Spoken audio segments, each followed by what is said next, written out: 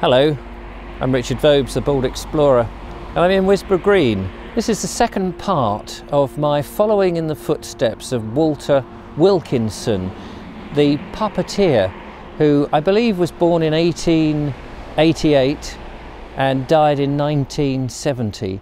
And during the 1920s and 30s, he toured around Britain uh, into Sussex, into Wales, into Scotland, into Yorkshire and Devon with a puppet show, a Punch and Judy show, but not the coarse Punch and Judy show that we think of today, a much more refined puppet show. And I think he was influenced from his travels in Europe. But in the 19, I guess the late 20s, early 30s it was, he took a journey through Sussex.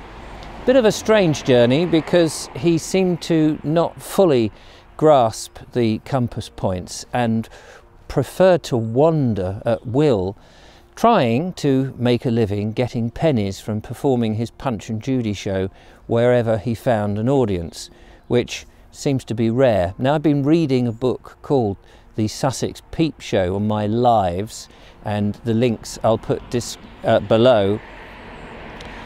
And I'm following, this is the second part of the journey.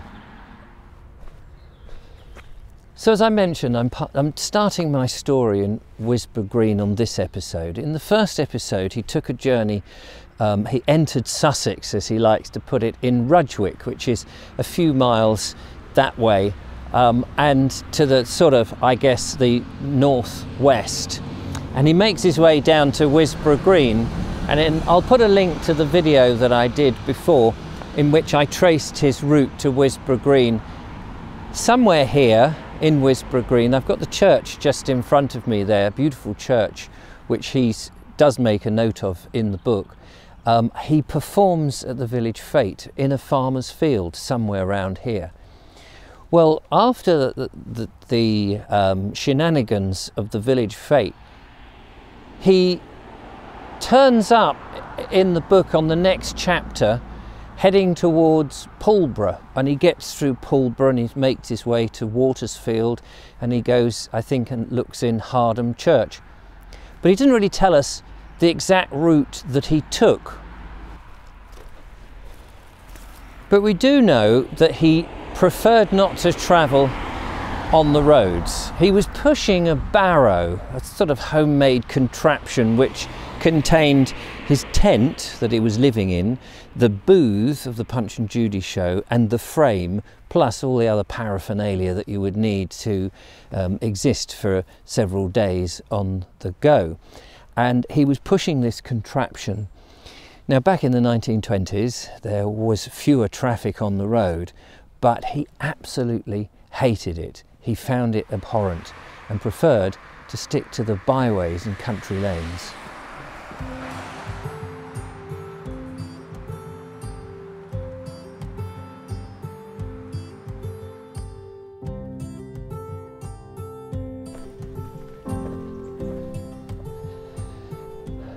The sun has deemed to bless us with occasional sunshine, which is rather nice. So, um, byways and old lanes, there is a direct route here.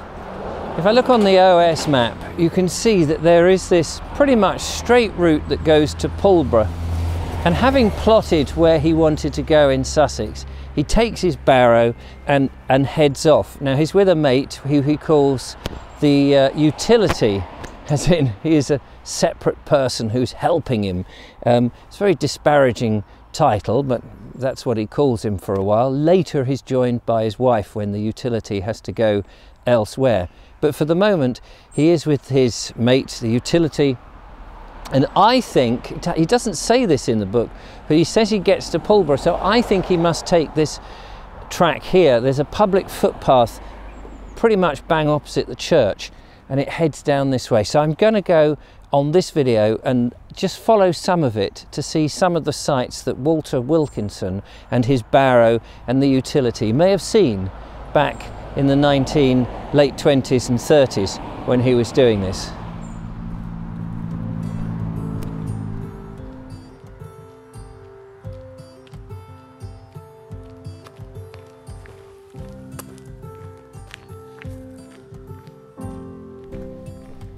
Oh wow. this is rather joyous, isn't it? Iron frame across this bridge, which is going over a little bit of a stream here, which is rather lovely. This would have been here in his day, I'm pretty certain. So he would have passed this, and you can see the joy of uh, getting off the main road, being in the countryside, trying to get across country without the the road and the, the noise of the traffic and the pollution and all of that, which very much appealed to Walter. And of course, two walkers these days. First part of the track we noticed today is tarmacked, but I'm sure back then it was probably just either a muddy or a gravelly drive. But uh, what a lovely spot to, to pause. Although I don't know how fast he was travelling because we don't really get a scale of days. Anyway, we'll press on.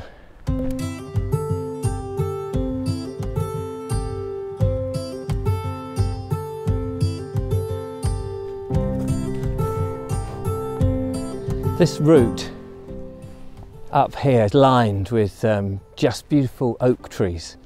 And they're of a certain age of course. And all around the countryside has these wonderful oak trees of course they would have been here a hundred years ago so you can imagine him coming up. Now I'm filming in the autumn in October and he set out his journey in May and he talks about the hawthorn hedgerows. Well these have been clipped and they're, they're turning colour as well of course but back then, when he was doing this, this would have been an, an ocean, if you like, or a spray from an ocean of May, of the blossom from the hawthorn bushes. It just would have been absolutely fantastic and delightful. Complete different contrast to the golden yellows and browns and russets that we have today.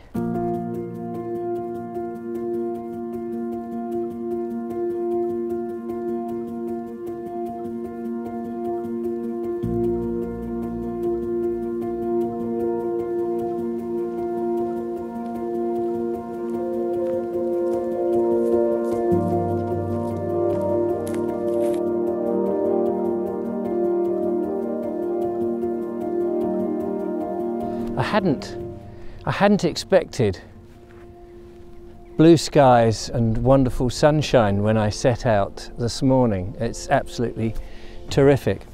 Past just now this very lovely old barn, which of course would have been there when um, Walter passed by, and some farmhouses which now are probably in the hands of people who've got uh, quite a bit of money and can afford to live in the countryside, perhaps no longer farm labourers by any means.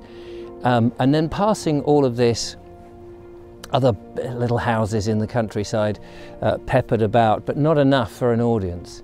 And then these magnificent oak trees here and the view to the south. We've got some hills, which I think is close to uh, Pulborough, and then beyond we get the South Downs. And all around me, underneath these oak trees, I can hear the acorns falling they wouldn't have been happening in May in 1930s.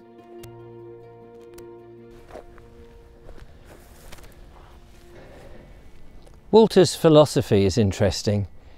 He seems to deliberately avoid towns and major conurbations to perform his show and seeks out very small audiences asking for pennies.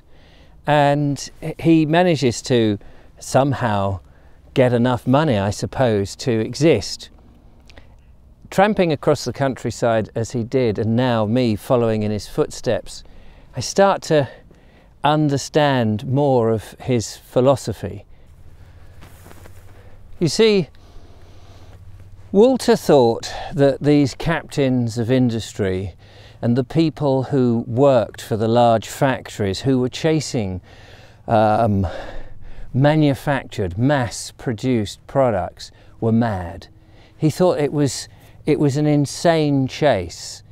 He relished the countryside and nature, seeing the wonders in the world around him and being part of it was very much part of his raison d'etre, his reason for, for living, really. And he felt that the mechanical world, the mechanical age of automation, of new things, and particularly the motor car and the charabancs and the, the buses and the, the fume belching lorries were, were all wicked things. But he actually also thought that that would pass, which is very romanticized notion that somehow progress would be stopped, that having found ways to farm more efficiently, uh, to produce more products quicker, and to distribute them easily, that we would draw back to a more country way. And yet, despite all of that, I very much share that philosophy, not so much thinking that it will take a step back, I wish it would, but that the nature that we have, that we have lost in this day and age, thanks to the heavy industrialized farming that we do with the pesticides and the herbicides and the fungicides and the artificial fertilization, which is killing off the wildlife that he, back then in the 30s, would have seen in abundance and that we are lucky if we catch a glimpse of.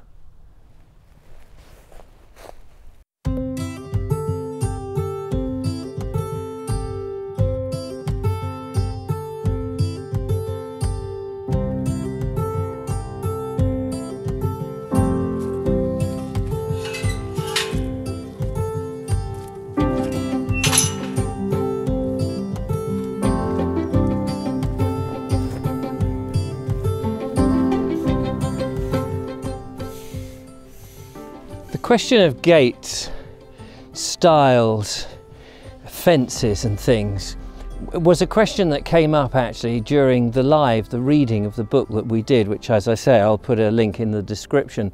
And somebody said, you know, um, he must have had trouble getting his booth and his contraption, his wheeled barrow over these things. And back in the 1930s, I don't think that we had perhaps the stiles and the narrow uh, footpaths, the delineated footpaths that we do today, because it was only really later, after the war, that places, particularly on the South Downs, where he starts to walk, um, are hampered by the farmers cutting up the land and doing uh, more intensive farming on pasture that had only before been for sheep and had been an open space. You didn't need to have people walk around the field or stop them from going over the field with fences and things because it was literally sheep in hurdles. So I don't think he encountered many, but he may have come across some gates. And I imagine on more than one occasion there was the question of him and the utility, or Winifred, his wife, at the certain points, of having to, if he couldn't open them, get them over somehow. He doesn't mention it so far in the book.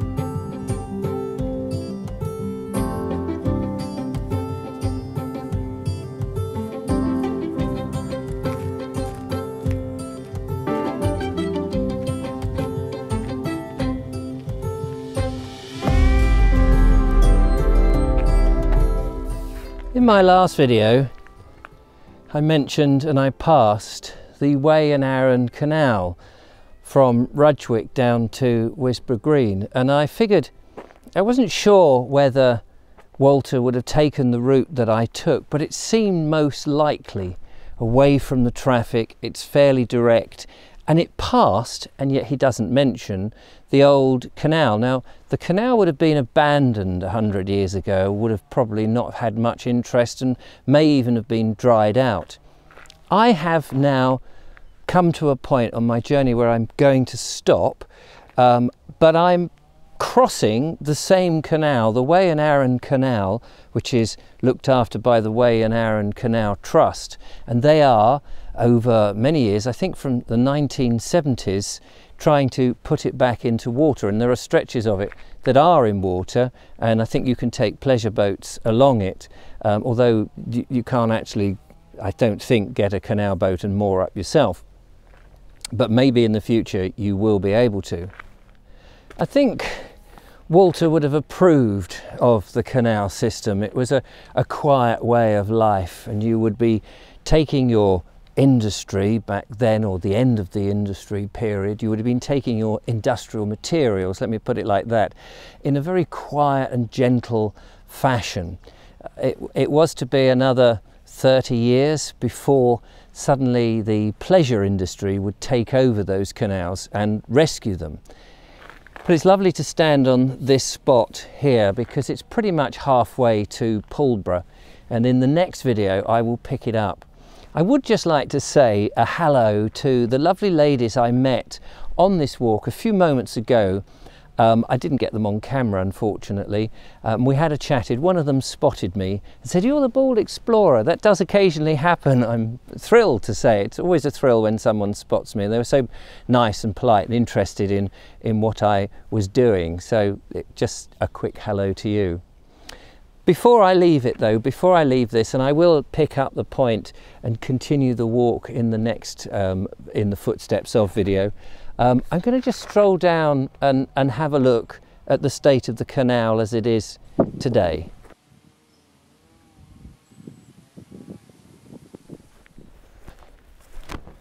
Well, it certainly looks a little bit weedy on this section, the uh, Wey path south, I think they call this one, and I'm guessing that's the way north, um, W-E-Y, as in the river Wey, the route to the way and it must circle up round there and go on the way to Rudgwick. So he could have come along that way and followed the towpath. I don't know how easy that would have been with his barrow, but I get the feeling that he perhaps went across more direct, directly from Wisborough Green to Pulborough. But it's lovely to see it and the bridge looks pretty new. Anyway, that's it for this video. Thank you so much for watching. I hope you've enjoyed it. If you haven't um, heard the live readings of the book or you want to check it out yourself, it's The Sussex Peep Show by Walter Wilkinson. It's a fantastic book. It's probably out of print, but I'll, as I say, I've left the link so you can listen to the live and the discussion that we have when we do it. I do do a, a live reading pretty much every day, weekdays, um, at four o'clock on the Bald Explorer. So there may be a book there that you want to follow me on. And if I can follow in those footsteps, I think it's, it's just great. It gives me an excuse, A, to get out, and B, to see some of the countryside and follow in some of the amazing people who've written some wonderful books. Anyway, that's it for today follow, like and subscribe, thumbs up if you can, and maybe consider becoming a patron, support what I do. A few pennies my way really helps me continue to make the videos and hopefully keep you entertained at the same time. I'm now going to go back and have a cup of coffee and uh, I'll pick up this walk from here more or less the next time. Take care, bye bye, bye bye.